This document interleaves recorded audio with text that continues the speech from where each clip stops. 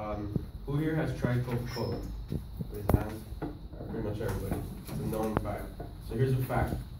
Coca-Cola uh, was a patent medicine in the 19th century by Dr. John pa- uh, Dr. John Pemberton, and he used a narcotic of actual cocaine in the beverage to um, basically help cures and well help diseases back in that time.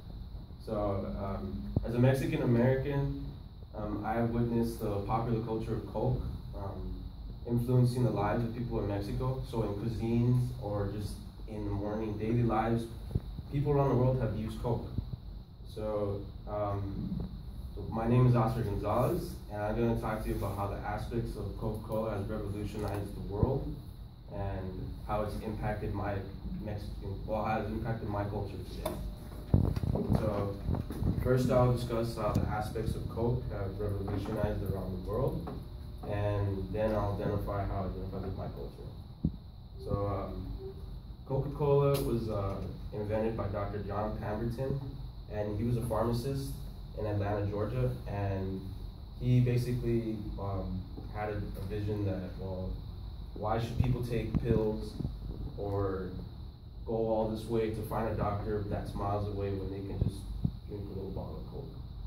But of course, today this Coca-Cola does not have cocaine, so I mean, we getting a little messed up, but and those times people used uh, in that time he used he influenced the narcotic cocaine to um, help diseases like uh, there was anxiety depression um, there was a lot of sorts of like uh, other um, diseases as well or like infections he wanted to use the bottle for but uh, over the years uh, robert woodruff when dr john Pemberton died uh, Robert Woodruff took over the Coca-Cola company, and of course, people were trying to sue Coca-Cola for the use of the drug when they discovered that it was in the, the drink and the beverage. So Robert Woodruff changed the uh, formula to use uh, coca bean, and I don't know the other significant flavors, but he used coca bean and other uh, ingredients to create the Coca-Cola we all know today.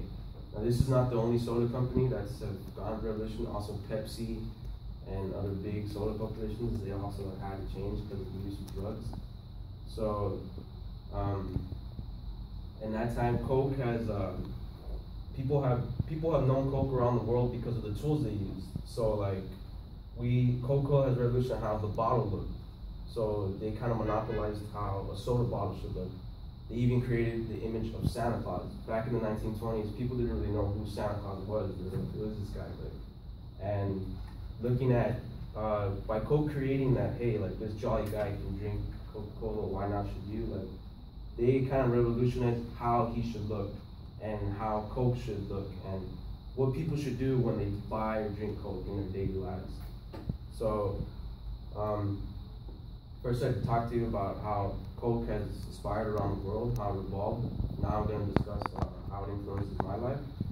So um, my family, uh, we use a lot of Coke. It's a thing. I don't know. My family really likes to drink soda. So, and uh, I remember going su- uh, summer vacations to uh, Guadalajara, Mexico. It's my grandfather's hometown, and I go over there a lot during uh, July, mid-July, and we uh, I see a lot of kids. They buy uh, sweet bread or over there it's pan dulce. So, and well, they usually buy that like at six, seven in the morning, and they get a bottle of Coke.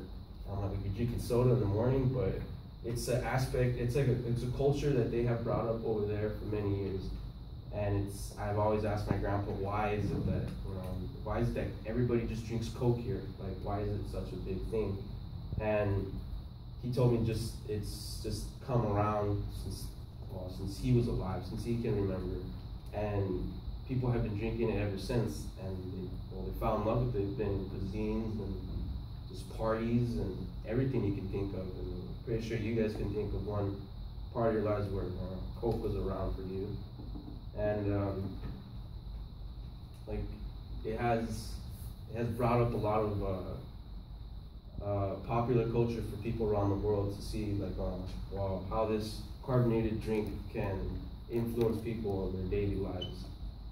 So, um, well, over the years, um, like Robert Woodruff, um, before, now today, he, he's not alive, but, um, the owner of Coca-Cola, they aspire to, you know, to continue, uh, serving and producing, uh, beverages around the world, and they, their like aspiration, I guess, is that Coke is so popular and demand is because it's for the people, it's not for the corporation, it's not for money. And like, that's a big thing that's, has influenced today's life. So now I've discussed about how it's influenced my life, and uh, um, to conclude, um, now I have a better understanding of how Coca-Cola has influenced and the culture that it represents.